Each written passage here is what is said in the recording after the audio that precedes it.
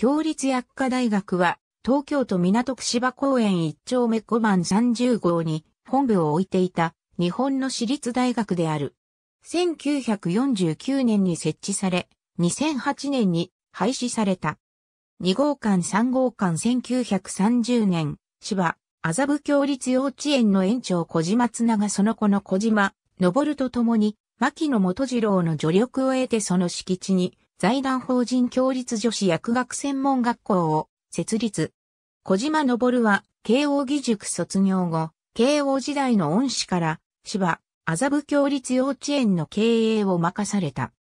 幼稚園の父兄や卒業生らの協力を得た小島は、幼稚園の所在地に薬学を教える専門学校を建てることを決め、1930年11月26日設立認可が降りた。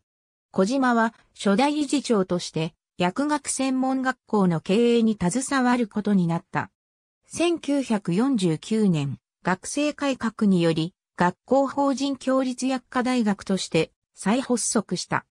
温厚和平の見学の精神のもと実験、実習を礎とする女子のための高等教育機関として実学を基調とし、製薬科学と合成科学の礎に立ち、永年薬剤師養成のための高等教育を行ってきた。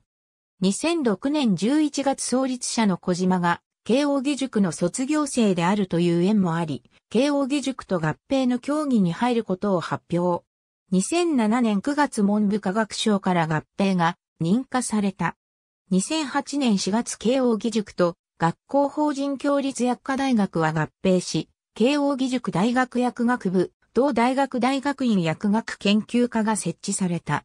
現在、旧共立薬科大学のキャンパスは、慶応義塾大学薬学部、芝共立キャンパス、浦和共立キャンパスとなっている。合併の理由としては、薬学部6年制移行の影響が挙げられている。平成17年度までの入学生は4年制で以下の学科に配属される。学科配属は3年次に行われる。平成18年度からの入学生は以下の学科に配属される。ありがとうございます。